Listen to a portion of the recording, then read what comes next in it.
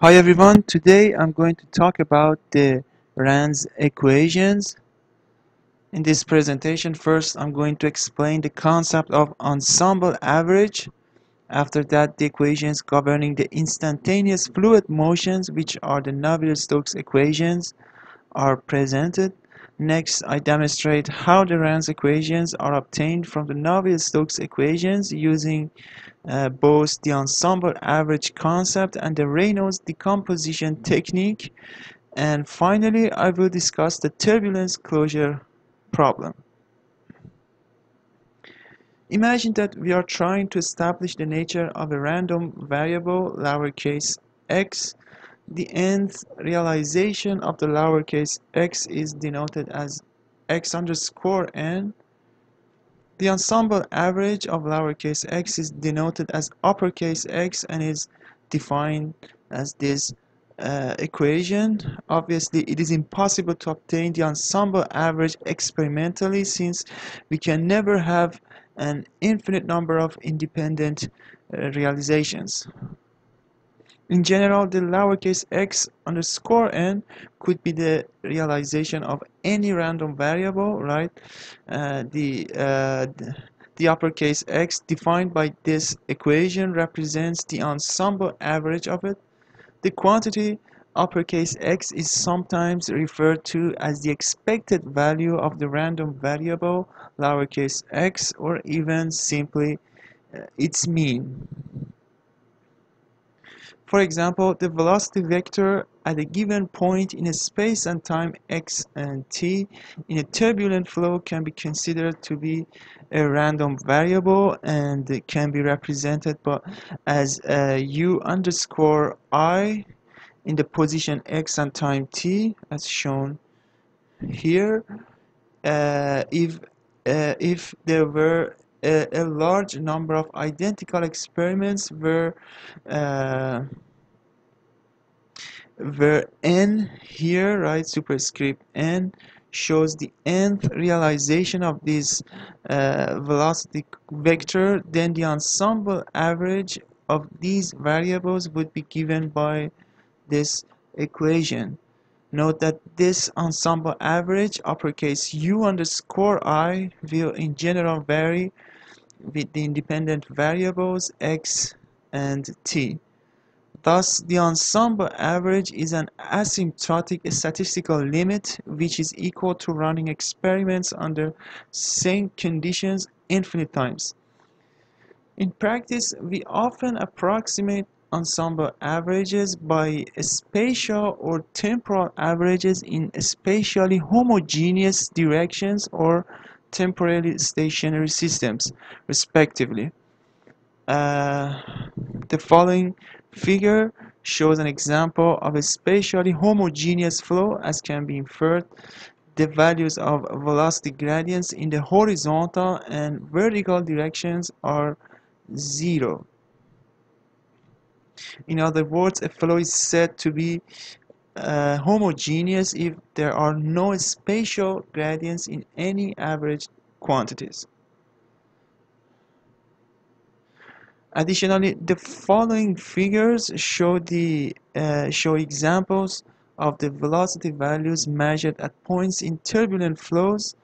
Uh, the first figure uh, on the left hand side is an example of a stationary turbulent flow where the mean value of the velocity which is shown by a dashed line remains constant over time. The second figure on the right hand side is an example of a non-stationary turbulent flow where the mean value of the velocity uh, which is shown by a dashed line varies over time. All fluid motions, whether turbulent or not, are governed by the continuity and Navier-Stokes equations, which for incompressible Newtonian fluids in Cartesian coordinates are written as follows, where u uh, underscore i uh, are in fact the instantaneous velocity components at the point in a space x underscore i which are the Cartesian coordinates and time t. P, uh, which is also the, the, the, the instantaneous static pressure, uh, rho uh, is the is the fluid density, which is which can be seen here, and nu is the uh, fluid kinematic viscosity. We have another variable here which is shown by S underscore ij which is the instantaneous strain rate tensor uh, which is expressed in terms of the gradient of instantaneous velocity components as follows. These equations are just Newton's second law written for a continuum in a spatial reference frame. Together they relate the rate of change of momentum per unit mass which is defined by uh, rho times velocity which is also a vector quantity to the surface and body forces on the right hand side. Now let's talk about the Reynolds average Navier-Stokes equations. Osborne Reynolds suggested that the variables in the Navier-Stokes equations could be decomposed into ensemble mean and fluctuating components. This can be justified using the following figure which shows the velocity value measured at a single point uh, in a non-stationary turbulent flow uh, thus, the instantaneous velocity and pressure can be written as uh, as these as these equations, right, where u prime and p prime are fluctuating components, while u and p are ensemble mean components. Thus, uh, this technique for decomposing the instantaneous values of variables is referred to as the Reynolds decomposition. Note that the averages are defined as ensemble mean and thus they are time dependent. Substitution of the decomposed values of the variables into the Navier-Stokes equations and performing the ensemble averaging of the resultant equations uh, gives the following equations which are the RANS equations right? Uh, keep in mind that the ensemble average of a fluctuating quantity is zero.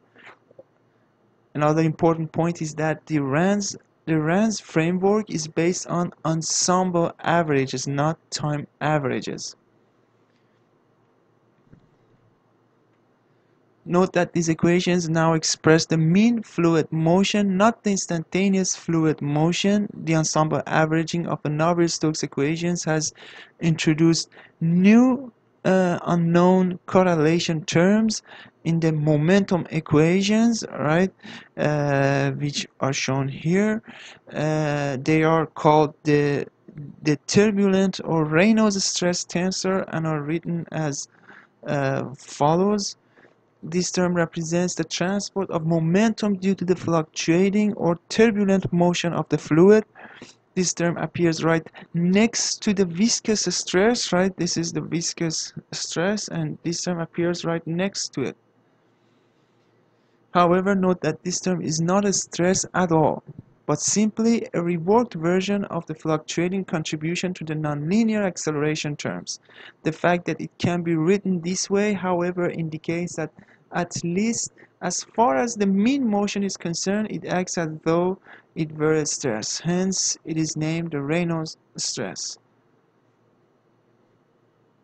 Thus, this term acts as a stress uh, on the fluid and in most regions of a turbulent flow, the turbulent stresses are much larger than their laminar counterparts.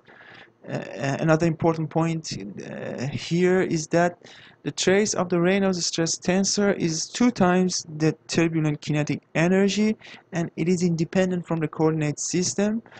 Uh, closure of the equation set requires correlations be developed for these new terms. Before I discuss the closure, the turbulent closure problem, it is worthy uh, to mention that the Reynolds stresses must meet certain constraints to be physically plausible.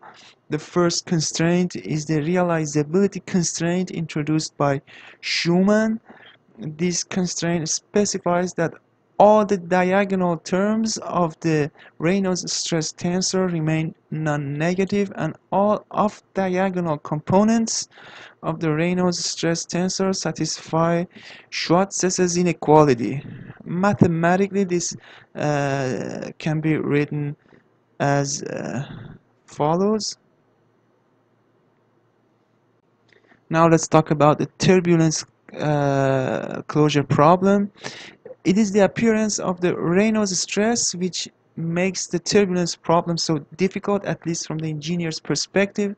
Even though we can pretend it is a stress, the physics which give rise to it are very different from the viscous stress. The viscous stress can be related directly to the other flow properties by constitutive equations, which in turn depend only on the properties of the fluid the reason this works uh, is that when we make such closure approximations for a fluid, we are averaging over characteristic length and time scales much smaller than those of the flows we are interested in.